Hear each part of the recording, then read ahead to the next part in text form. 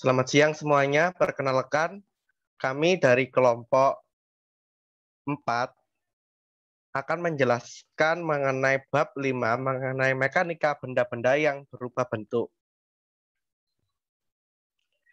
Di sini kami kami kelompok 4 ini memiliki anggota yaitu Tabina Sabasidiki, saya sendiri Daniel Falakiyam Hendra, kedua Ketiga, Sirot Rosian Anwar. Empat, Ardian Zaki Nafisa. Lima, Karel Domenico Haloho. Selanjutnya, tegangan. Jadi pada intinya ini tegangan atau bisa disebut juga dengan stres merupakan besaran skalar yang menunjukkan kekuatan gaya yang menyebabkan perubahan bentuk suatu benda. Tegangan dinotasikan dengan sigma dengan satuan nm akar min 2 atau Pascal yang di mana F adalah gaya, A adalah luas penampang, dan sigma adalah tegangan.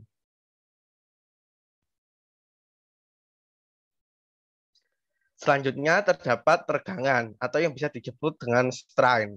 Jadi tegangan merupakan suatu besaran yang menggambarkan karakteristik dari suatu bahan yang elastis. Tegangan merupakan ukuran perubahan relatif di dari ukuran dalam bentuk suatu benda yang mengalami tegangan. Pada daerah elastis, besarnya tegangan berbanding lurus dengan tegangan. Yang di mana delta AL ini melambangkan perubahan panjang, LO ini panjang mula-mula. Selanjutnya terdapat modulus elastis Young, yaitu besaran yang mengukur seberapa elastis suatu benda semakin besar maka semakin tidak elastis, semakin kecil maka semakin elastis. Yang di mana E adalah modus elastis, sigma adalah tegangan stres, E adalah E kecil adalah regangan.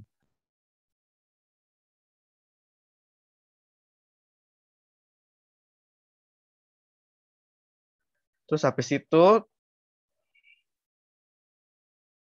Di sini kami menggunakan rumus yang simpel.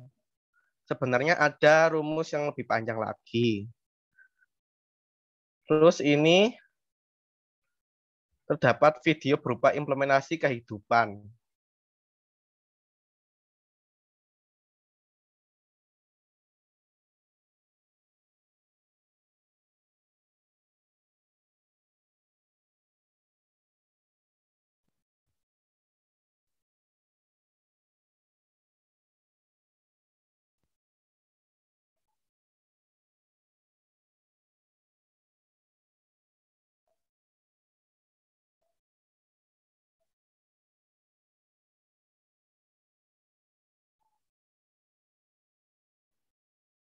Permisi Mas Daniel, suaranya sepertinya belum keluar.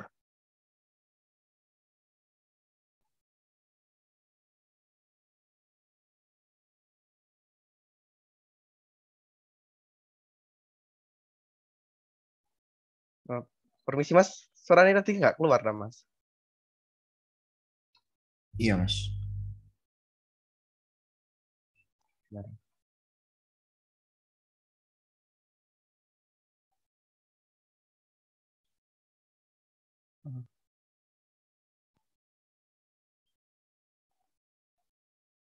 Kalau ini udah keluar nggak?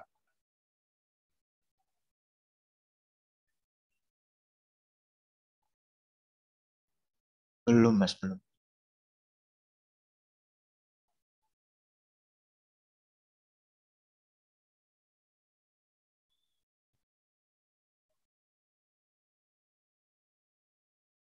Sebentar ya.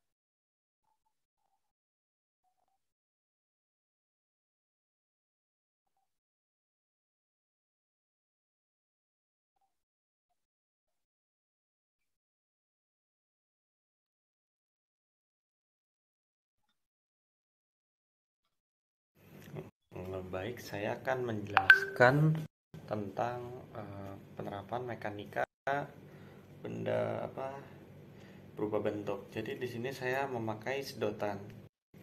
Nah, sedotan ini kan bentuknya masih utuh ya. Ketika kita tarik, nah dia putus gitu. Tapi sebelum putus itu dia pasti ada kayak apa ya? eh, titik di mana elastisitasnya tuh masih ada gitu jadi ya bisa disimpulkan itu Hmm.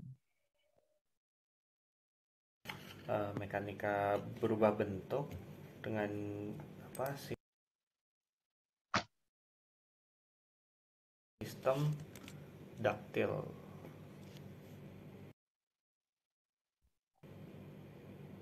eh maaf dengan sistem tensil test Baik, selanjutnya ini terdapat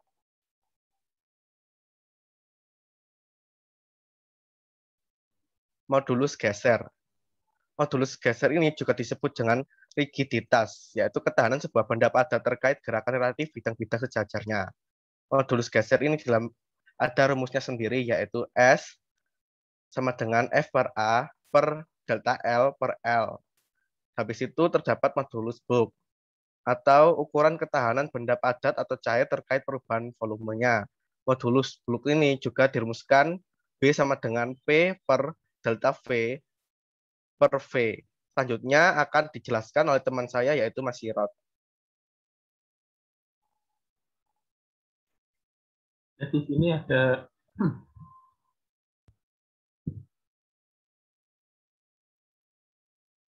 di sini ada grafik tegangan regangan. Seperti yang sebelumnya sudah diperagakan oleh teman saya Mas Ardian, di sini ada empat bentuk dari suatu bahan yang diuji dengan tarikan. Pada awal diagram terdapat elastic strain yaitu di mana ketika benda ditarik, benda masih memiliki sifat elastisnya, yaitu dapat kembali ke bentuk semulanya. Kemudian pada bagian kedua ada uniform plastic externation itu bagian di mana benda ketika ditarik sudah mulai kehilangan sifat elastisnya sehingga mengalami necking. Yaitu tidak bisa kembali ke bentuk semulanya. Dan jika ditarik terus maka akan mengalami fraktur di mana benda menjadi patah atau putus. Next, Mas.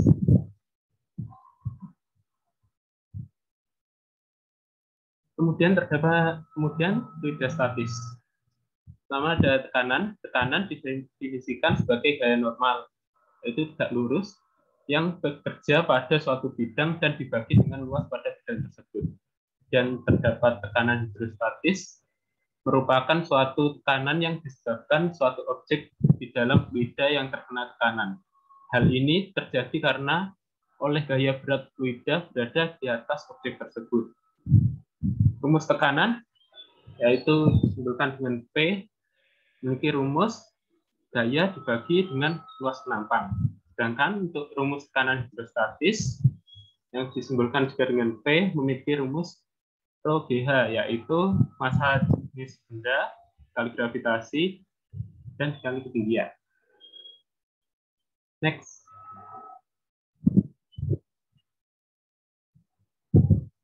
Selanjutnya dapat. Hukum Pascal berbunyi tekanan yang diberikan pada zat cair dalam ruang tertutup akan diteruskan oleh zat cair itu ke segala arah dengan sama besar. Seperti di samping sudah terdapat gambar contoh dengan rumusnya yaitu pada dompet hidrolik. Di mana dengan rumus F1 per A1 sama dengan F2 per A2, yaitu dengan maksud gaya yang diberikan pada suatu penampang dibagi dengan luas penampang tersebut akan sama besar dengan perbandingan gaya yang diberikan pada gaya pada luas penampang kedua dibagi dengan luas penampang kedua. Next.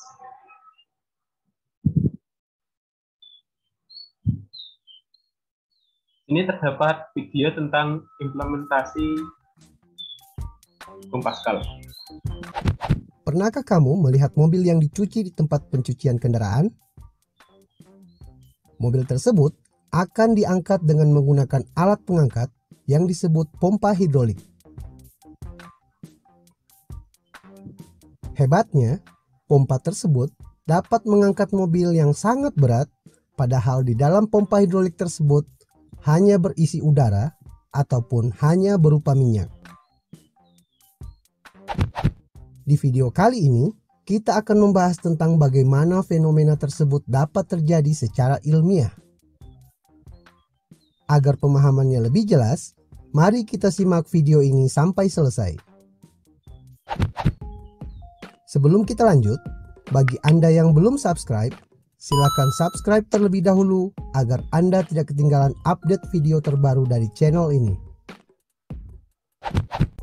Pompa hidrolik yang kita bahas di awal video, sesuai dengan pernyataan Blaise Pascal, seorang ilmuwan kebangsaan Prancis, yang menyatakan bahwa tekanan yang diberikan terhadap zat cair dalam suatu ruang tertutup akan diteruskan ke segala arah dengan nilai yang sama besar.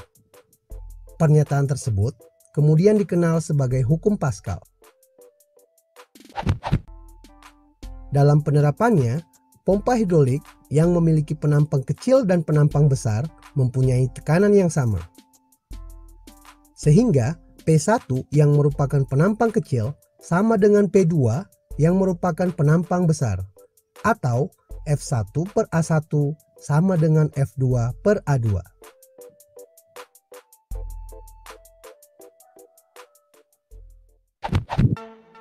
Jika penampang kecil tersebut atau A1 misalnya 1 cm persegi akan diberi gaya yang kecil atau F1 misalnya 10 Newton sehingga menghasilkan tekanan sebesar 10 Newton per cm persegi. Tekanan tersebut akan diteruskan menuju luas penampang besar, misalnya 100 cm persegi. Sehingga F2 sama dengan F1 kali A2 per A1. F2 sama dengan 10 Newton kali 100 cm persegi per 1 cm persegi. Sehingga diperoleh nilai F2 sama dengan 1000 Newton. Contoh tersebut dapat diartikan bahwa dengan memberikan gaya 10 Newton pada penampang kecil, mampu menghasilkan gaya 1000 Newton pada luas penampang besar. Singkatnya, meskipun dengan gaya yang kecil, sebuah pompa hidrolik dapat menghasilkan gaya angkat yang cukup besar. Berdasarkan prinsip inilah, pompa hidrolik tersebut mampu mengangkat motor ataupun mobil yang cukup berat. Untuk lebih jelasnya, mari kita simak contoh soal berikut ini. Sebuah pompa hidrolik memiliki luas penampang kecil 0,2 meter persegi dan penampang besar 0,8 meter persegi. Apabila pada penampang besar diberikan beban sebesar 500 Newton, berapakah gaya minimal yang harus diberikan kepada penampang kecil agar beban tersebut dapat terangkat? Penyelesaian Tekanan penampang kecil sama dengan tekanan pada penampang besar. F1 per A1 sama dengan F2 per A2. F1 per 0,2 sama dengan 500 per 0,8. F1 sama dengan 500 kali 0,2 per 0,8. Sehingga diperoleh nilai F1 sama dengan 125 Newton. Jadi, gaya minimal yang diberikan adalah sebesar 125 Newton. Sekian dulu penjelasan dalam video singkat ini. Semoga penjelasan konsep hukum Pascal dalam video ini bermanfaat bagi Anda.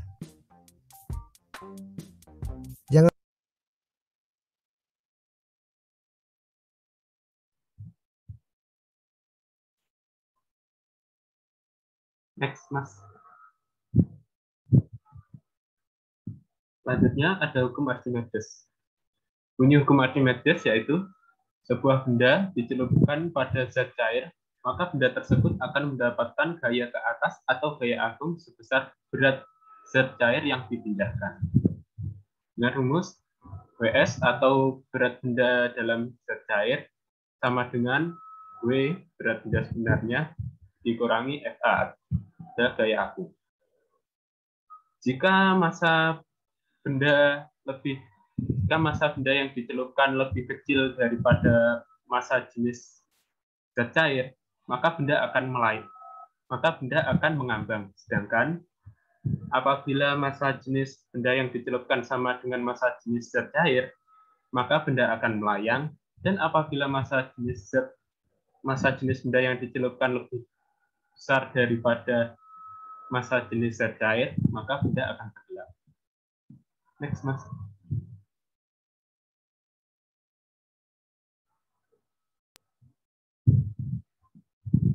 Kemudian ada fluida dinamis. Fluida. Fluida adalah suatu zat yang dapat mengalir yang berbentuk cair ataupun gas. Aliran fluida dapat diklasifikasikan menjadi tiga jenis, yaitu aliran laminar, aliran turbulen, dan aliran transisi. Yang pertama, aliran laminar.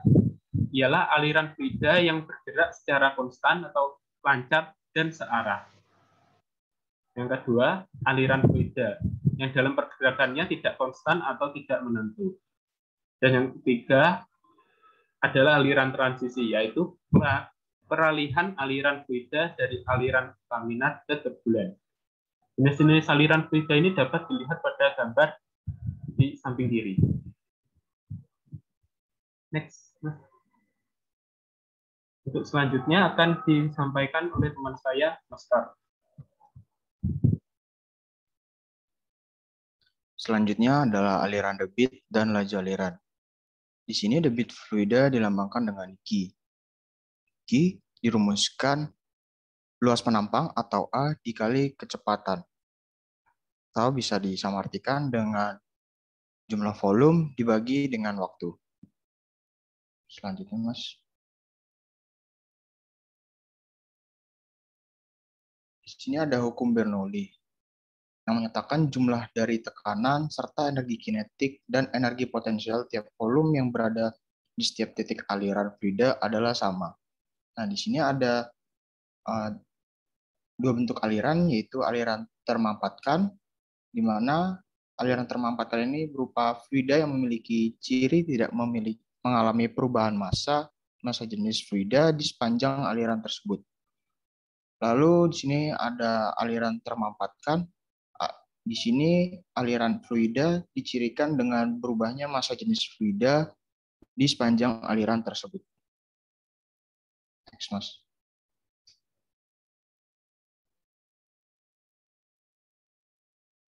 Ini ada bentuk persamaan Bernoulli untuk aliran yang termampatkan. Bisa dilihat di sini P atau tekanan fluida ditambah rho GH Rho itu adalah massa jenisnya, G itu berupa percepatan gravitasi, dan H itu perpindahan ketinggiannya. Ditambah setengah rho V, V di sini adalah kecepatan, V kuadrat hasilnya konstan, sesuai dengan yang dikatakan di uh, hukum Bernoulli tadi. Nah, di sini dijabarkan P1 kurangi P2 sama dengan setengah rho V2 kuadrat dikurangi V1 kuadrat ditambah rho G dikalikan dengan perbedaan ketinggian H2 min H1. Lalu dijabarkan berikutnya sebagai berikut. Ya, sudah bisa di next, Mas.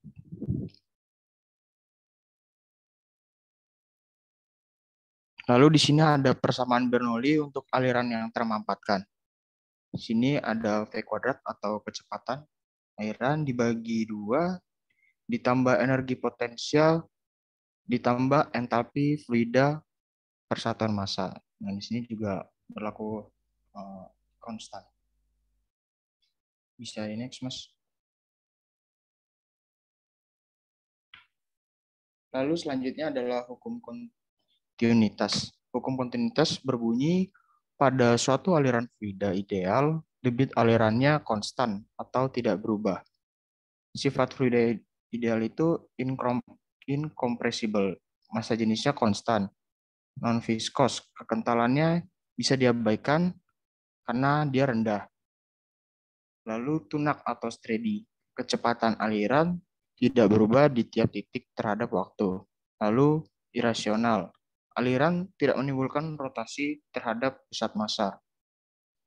Nah, di sini bisa dilihat uh, debit debit volume fluida yang mengalirkan dalam persatuan waktu seperti yang di uh, disampaikan sebelumnya yaitu Q sama dengan V per T volume atau Q sama dengan luas penampang dikali kecepatan. Bisa dilanjut, Mas? Nah, di sini ada salah satu bentuk penerapan fluida dalam bidang mekanik, terutama di sini adalah fluida gas udara, yaitu aerodinamika dalam mobil F1. Bisa di-play, Mas.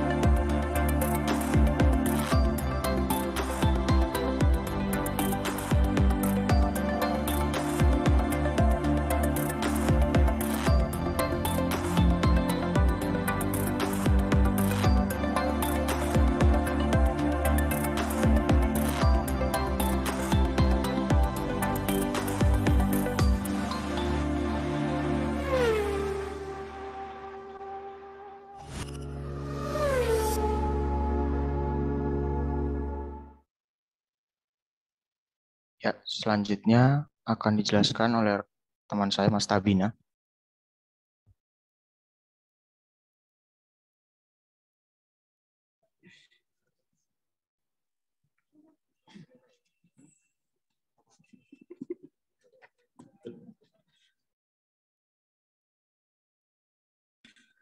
Selanjutnya, persamaan energi akhiran fluida. Persamaan ini menggunakan pendekatan hukum kedua jari kedua jari Newton tentang gerakan dalam bentuk gaya yang sama dengan massa kali percepatan F sama dengan ma. Penurunan persamaan Euler bisa dilihat gambar pada di bawahnya itu. Lanjut.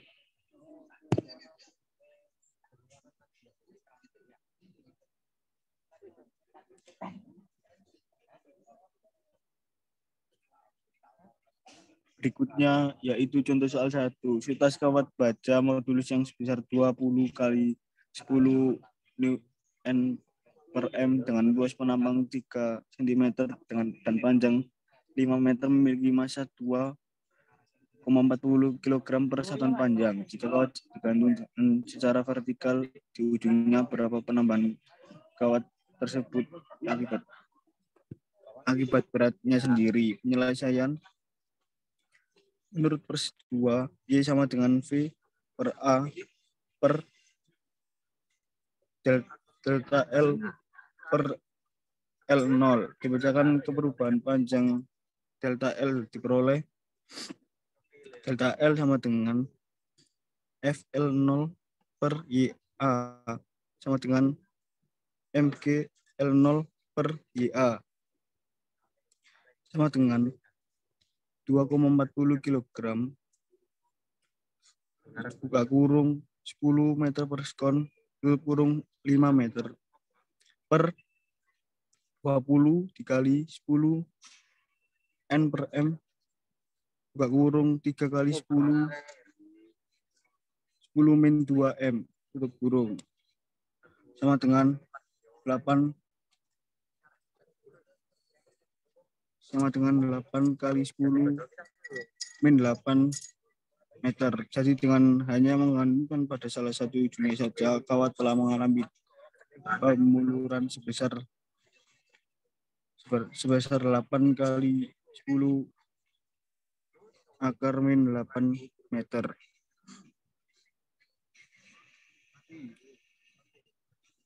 Lanjut.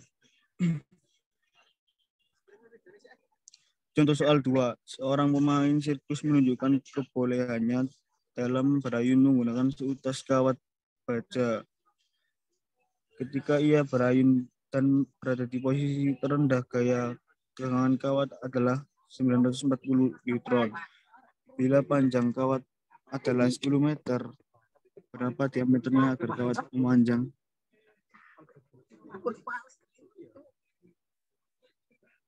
Bila panjang kawat adalah 10 meter, berapa diameter agar kawat memanjang tidak lebih dari 0,5 cm saat pemain sirkus berayun di posisi terendah tersebut. Penyelesaian. Menurut definisi modulus yang pers 2, yang harus ditentukan dulu adalah luas penampang. Diasumsikan bahwa penampang tersebut lingkaran sehingga diameter kawat dapat ditentukan menurut persamaan dua. Dipecahkan ke luas penampang dan menggunakan data modulus modulus yang pada contoh soal nomor satu. Untuk lingkaran A, pi R kuadrat sama dengan D bagi 2 kuadrat dengan R adalah jari-jari dan D adalah diameter lingkaran. Dengan demikian, diameter kawat agar penambahan panjang tidak lebih dari 0,5 cm ketika pemain sirkus itu berayun di bawah adalah 3,4 mm.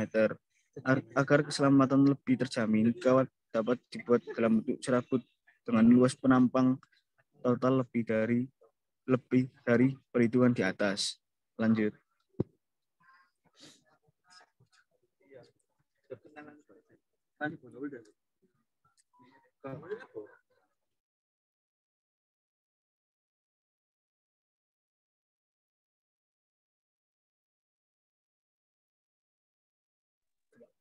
Contoh soal tiga. Ketika sebuah bola plastik diletakkan di permukaan air, teramati bola mengapung dengan 50% volumenya terendam.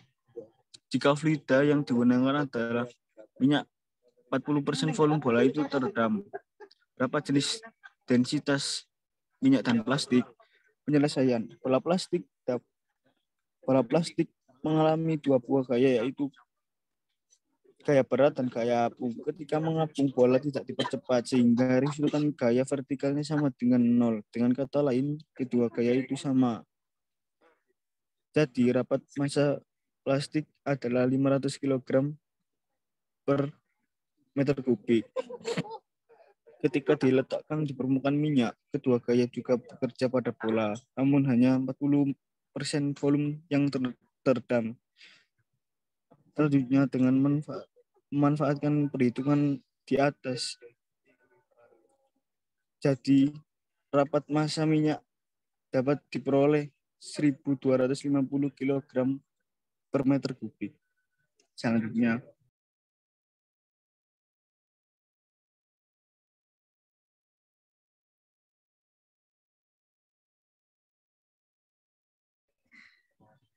Contoh sebuah bola logam bervolume 0,5 meter kuadrat. Mula-mula diletakkan di udara yang mengerjakan tekanan satu ATM terhadap logam itu. Bola tersebut dibenah dibenamkan ke dalam air hingga kedalaman tertentu yang tekanannya adalah 2,2 kali 10 akar 7 neutron. Berapa persen perubahan volume yang dialami bola ketika dibenamkan ke dalam air tersebut?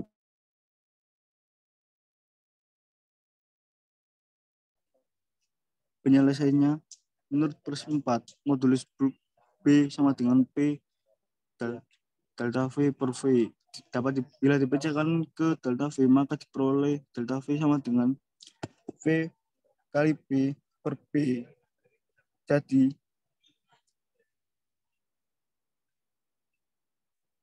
1,6 dikali 10 akar 4 meter kubik karena tekanan 1 ATM sama dengan 10 kali 10 akar 7 Newton per meter kuadrat. Perubahan volume relatif yang dialami bola adalah 1 kali 6 1,6 kali 10 akar min 4 m kubik per 0,5 meter kubik. Jadi dapat diperoleh 0,03 persen. Selanjutnya,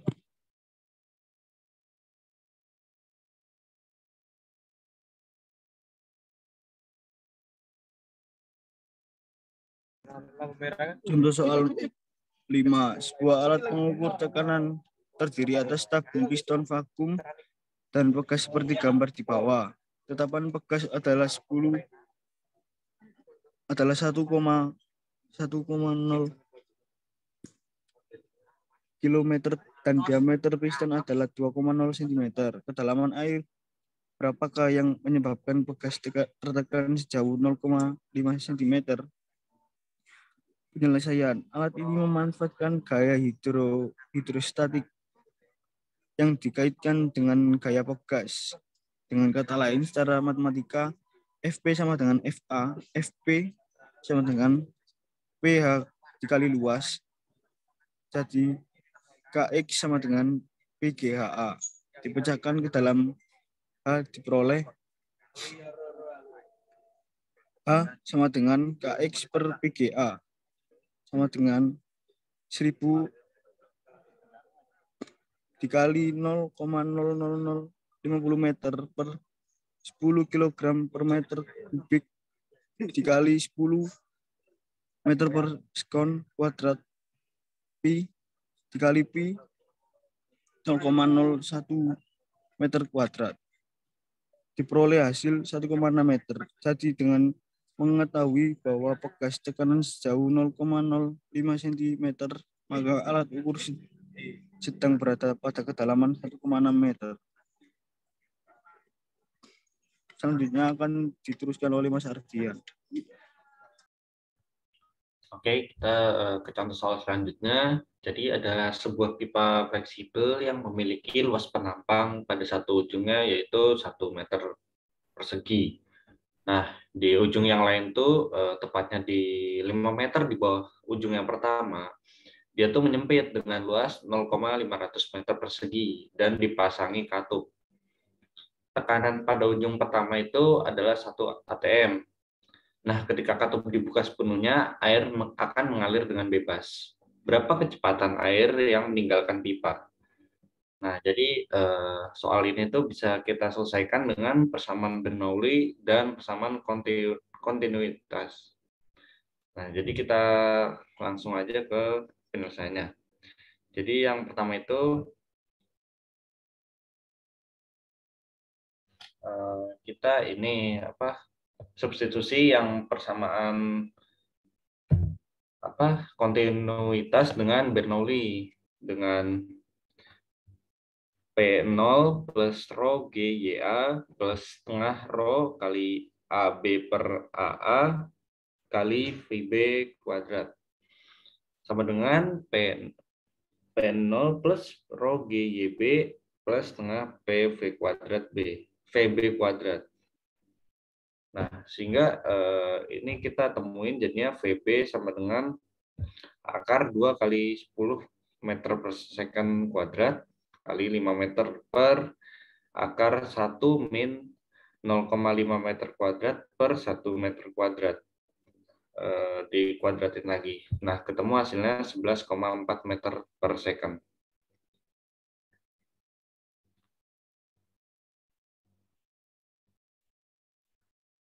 Lanjut, Mas.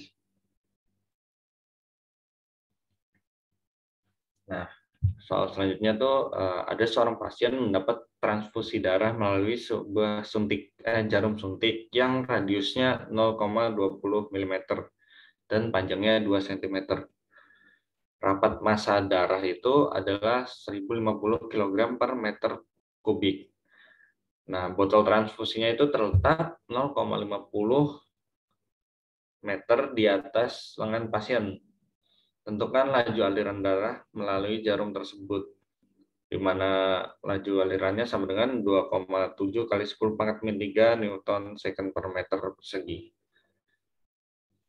Nah, kita tuh menyelesaikannya dengan hukum Poiseuille yang dinyatakan dengan laju alirannya sama dengan delta V per delta T atau sama dengan Pi kali R pangkat 4 kali P1 min P2 per 8 eh, kali N kali L.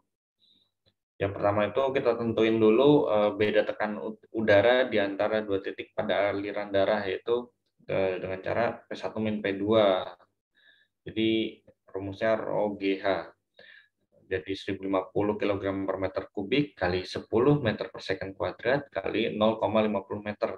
Nah, ketemu nih apa beda tekanan udaranya yaitu 5,25 kali 10 pangkat 3 Pascal.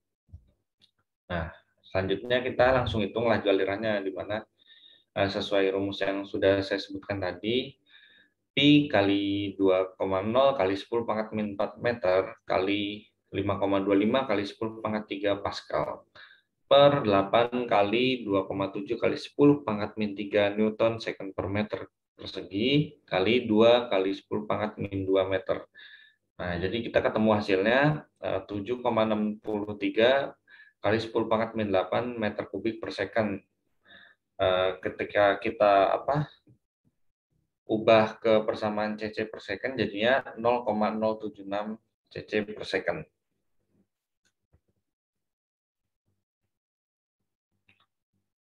Contoh soal selanjutnya nih.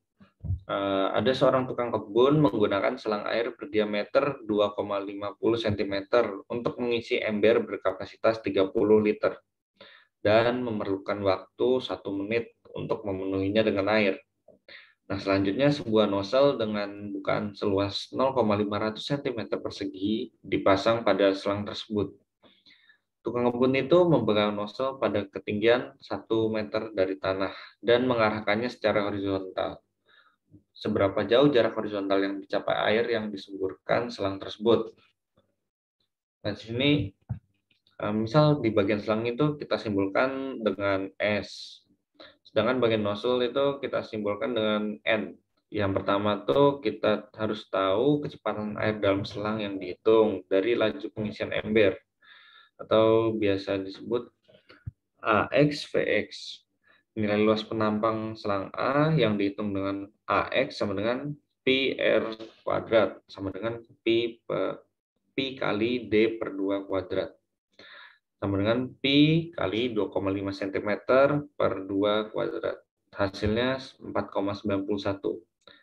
Nah, laju aliran air ini dalam selang diketahui 30 liter per menit dan sama dengan AX VX. Dengan kata lain, AX VX itu sama dengan 30 liter per menit. Nah, langsung kita masukin rumus nih. 4,91 cm persegi kali VX sama dengan 30 desimeter kubik kali 1 cm per 0,1 desimeter pangkat 3 per 60 second sama dengan 30 kali 1 cm kubik per 10 pangkat min 3 bagi 60 second sama dengan 500 cm kubik per second. Nah, Vx-nya itu jadi 500 bagi 4,91 sama dengan 102 cm per, per second. Atau kalau diubah jadi satuan meter per second, jadinya 1,02 meter per second. Nah, kemudian dengan menggunakan prinsip kontinuitas untuk selang dan nozzle, kita memecahkannya ke bentuk Vn. Diperoleh Vn itu AX per AN kali Vx. Sama dengan 4,91 cm persegi bagi 0,500 cm persegi kali 1,02 meter per second. Hasilnya itu 10 meter per second. Lalu kita masukin deh eh, apa nyari gerak pancuran air dipandang sebagai gerak parabola dengan kecepatan awal horizontal, jarak jatuhnya air dari nozzle ke tanah dapat dihitung dari eh, D sama dengan X min X0 sama dengan Vx kali T sama dengan V0 kali T.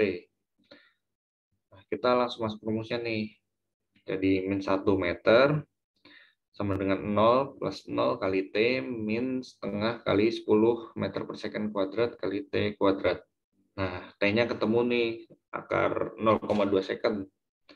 Nah, di sini dapat dihitung eh, jarak jatuhnya tadi eh, dengan menggunakan rumus D sama dengan Vn kali T, yaitu 10 meter per second kali akar 2 second, sama dengan 4,47 meter. Jadi airnya itu terpancar sejauh kurang lebih 4,47 meter dari pada arah horizontal dari pada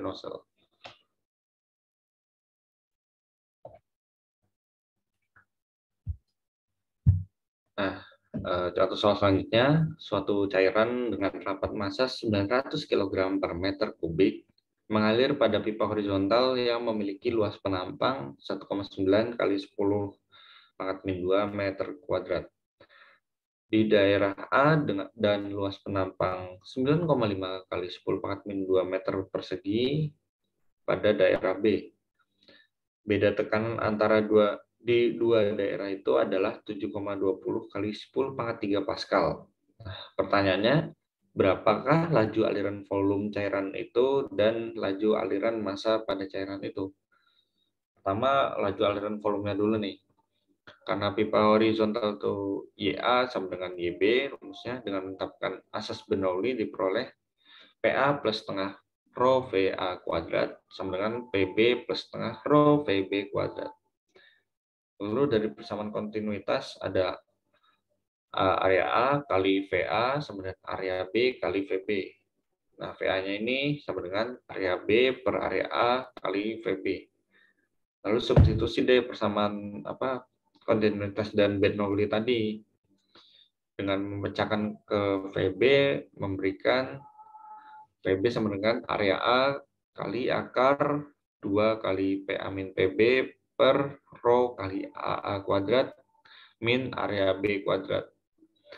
Lalu laju aliran volume dapat dihitung dengan QV sama dengan AB per eh, AB kali VB yang dapat diselesaikan dengan mensubstitusikan persamaan ketiga di mana QV sama dengan AB kali AA kali akar 2 kali PA min PB per rho kali AA kuadrat min AB kuadrat luas penampang A lebih kecil nih daripada luas penampang B, sehingga tekanan di A itu lebih kecil daripada tekanan di B. Atau selisih tekanannya PA min PB sama dengan 7,20 eh, kali 10 pangkat 3 Pascal. Sehingga laju, laju aliran airnya adalah 9,50 kali 10 pangkat min 2 meter persegi kali 1,90 kali 10 pangkat min 2 meter persegi kali akar 2 kali 7,20 kali 10 pangkat 3 Pascal per rho kali 9,50 kali 10 pangkat min 2 meter persegi kuadrat min 1,90 kali 10 pangkat min 2 meter persegi. Nah, didapatkan hasilnya itu 0,776 meter kubik per second.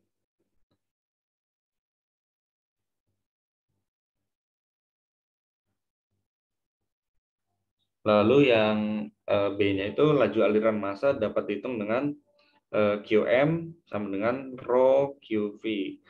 Nah, hasilnya itu sama dengan 900 kg meter per meter kubik kali 0,776 meter kubik per second didapatkan hasilnya 69,8 kg per second.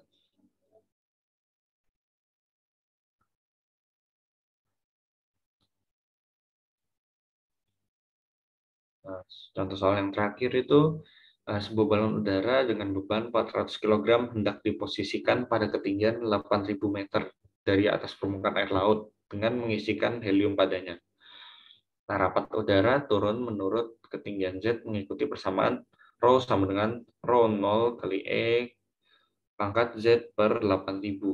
Dengan Z itu dalam satuan meter dan rho 0 adalah rapat udara di permukaan air laut yang bernilai 1,25 kg per meter kubik. Nah, pertanyaannya berapa banyak helium yang diperlukan untuk itu? Diketahui rho He, eh, rho helium sama dengan 0,180 kg per meter kubik. Nah, kita asumsiin dulu nih bahwa balon itu bisa mencapai ketinggian 8.000 meter sehingga balon dan beban berada dalam keadaan setimbang pada ketinggian itu. Nah, berat bebannya adalah W sama dengan massa kali gravitasi. Massa kali percepatan gravitasi sama dengan 400 kg kali 10 meter per second kuadrat. Nah, hasilnya sama dengan 4000 Newton. Sedangkan berat helium sendiri pada balon itu dirumuskan dengan W helium sama dengan massa helium kali percepatan gravitasi sama dengan rho helium kali eh, volume dari helium kali kecepatan gravitasi. Jadi berat balon plus udara adalah W sama dengan W plus W, uh, W dari helium. Sama dengan 4000 Newton plus rho helium kali V helium kali kecepatan gravitasi. Nah, sementara itu pada ketinggian 8000 meter, rapat udara itu bernilai rho sama dengan rho 0 kali E per 8000 per 8000 sama dengan 1,25 kg per meter kubik kali E pangkat min 1 atau sama dengan 0,460 kg per meter kubik. Sehingga gaya apung oleh helium pada ketinggian pada ketinggian tersebut adalah B sama dengan rho dari udara kali volume kali dari helium kali kecepatan gravitasi dan kesetimbangan pada ketinggian 8.000 meter tersebut disebabkan oleh gaya berat yang diimbangi oleh gaya apung atau W sama dengan B sehingga 4000 Newton plus rho HE kali VHE kali percepatan gravitasi sama dengan rho udara kali VHE kali gravitasi, percepatan gravitasi. Sehingga dirumuskan VHE sama dengan 4000 Newton per percepatan gravitasi kali rho udara min rho helium sama dengan 400 kg per 0,460 kg per meter kubik min 0,180 kg per meter kubik. Didapatkan hasilnya itu 1428 meter kubik.